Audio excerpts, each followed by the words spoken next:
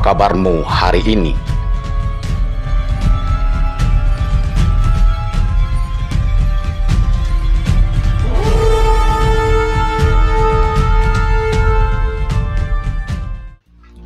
Jelang Pilkada 9 Desember 2020, konsentrasi masyarakat terlihat lebih fokus pada gelaran acara tersebut ketimbang wabah yang menyelimuti yakni corona atau COVID-19. Maka, kalau kita bertanya, Corona, apa kabarmu hari ini? Hmm, jawabnya mungkin biasa-biasa saja, program jalan terus. Atau mungkinkah Corona itu menjawab, kabar baik, bagaimana dengan kalian? Masalahnya, bukankah beberapa waktu lalu ramai pergunjingan dan perdebatan dari pengamat dan pakar kesehatan, juga para politikus yang ngeyel meminta pilkada serentak 2020 agar ditunda. Namun, pemerintah bergeming tetap melanjutkan pilkada serentak 9 Desember nanti di 270 daerah pemilihan karena tidak ada jaminan kapan tarian corona akan berakhir. Selain itu, pemerintah tidak ingin mencederai hak politik warga negara untuk mempergunakan hak berdemokrasi, memilih dan dipilih. Menurut saya pilkada ini ya dilanjutkan lah. Dilanjutkan ya? Ya dilanjutkan karena kalau dibikin alasannya COVID, COVID tidak akan berakhir. Iya. Mungkin tahun dua tahun ke depan atau tiga tahun ke depan karena sampai sekarang pun pencerahan dari COVID kan belum ada. Iya. Kejelasannya belum bagaimana tuh nggak ada pencerahannya. Jadi tidak ada gunanya buat menunda-nunda. Ada baiknya untuk dilanjutkan melihat ke depannya lah bagaimana besok Indonesia ini. Yang penting kita mengikuti protokol Iya protokol kesehatan ya. COVID. Tetap ya. Kita adakan cuci tangan sebelum melakukan pencoblosan, memakai masker.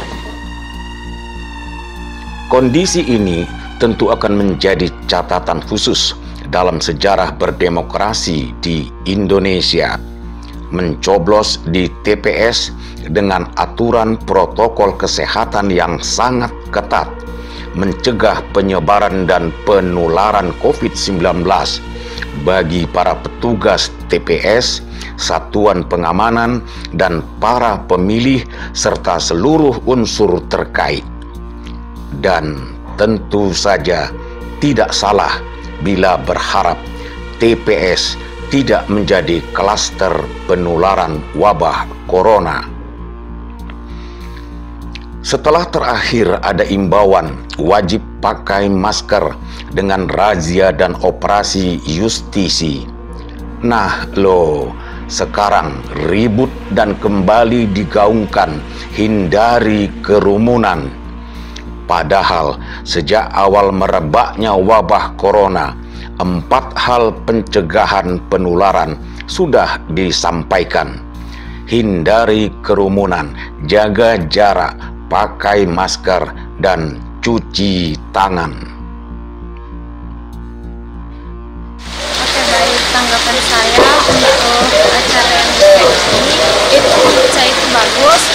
Kayak saya masih pemula dalam pemilihan. Jadi saya tahu nanti pada saat pemilihannya itu gimana. Mak- makanya diadakan simulasi ini agar kita yang si pemula mengetahui gimana sih caranya eh, pemilihan itu yang sebenarnya kayak mana step-step by stepnya Dan protokol kesehatannya seperti apa penerapannya? Pak? apa Protokol kesehatannya penerapannya seperti apa yang tadi disampaikan? ya?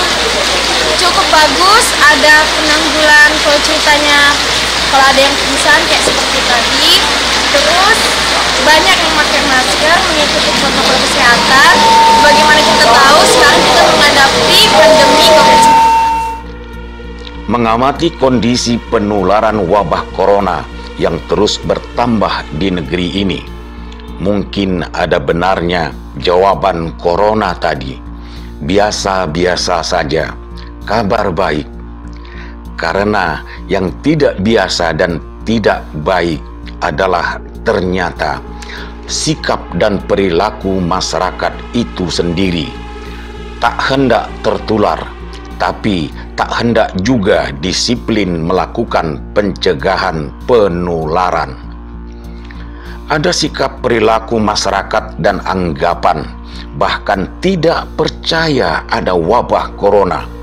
Namun ngotot mengaku terdampak corona dan protes keras ketika tidak mendapat bantuan sosial dari pemerintah. Hmm, sekali lagi, Corona, apa kabarmu hari ini? Atau mungkin saja Corona ini malah sedang tersenyum karena berhasil mempecundangi para ahli kesehatan dunia, para kepala pemerintahan lebih dari 200 negara, kelimpungan menghadapi krisis ekonomi, masalah sosial dan budaya, atau interaksi dunia yang terhambat akibat perangai jahil dan ganas corona yang mematikan gerak kehidupan dan manusia di muka bumi. Apa hendak dikata? Bila perangai jahil dan ganas mematikan si corona ini tidak dilawan, tidak diimbangi dengan kesadaran dan disiplin memutus rantai penyebarannya, pakai masker, jaga jarak, cuci tangan, dan tidak membuat kerumunan, suka atau tidak suka, kondisi ini tidak akan berubah Artinya akan terus jatuh bangun bersama irama dan goyangan maut wabah corona. Harapan yang masih belum terjangkau adalah vaksin yang sedang menuju titik terang dan diupayakan pemerintah untuk dipergunakan secara meluas. Nah, kalau sampai saatnya nanti vaksin corona ini dipergunakan untuk antisipasi wabah corona, pertanyaan pun akan berubah. Corona, masih adakah kabarmu nanti? Edi Prambudi, Tim Liputan Produksi dan Dokumentasi N2STV.